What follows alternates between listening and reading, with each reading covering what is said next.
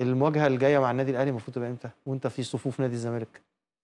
آه لسه لسه شوية. آه لسه صح؟ لسه. الدوري لسه. لسه, ما بدأش. لسه. تعمل إيه مع حسين الشحات؟ آه حسين آه، لعيب كبير وكل حاجة بس آه أنا لعبت حتى ضد الترجي و... أنا هعمل ماتش كويس إن شاء الله ماتش كبير إن شاء الله. مم. بس دي الفكرة بحسين شحات دي مش عارف ليه كتير هنا بيتكلموا فيها.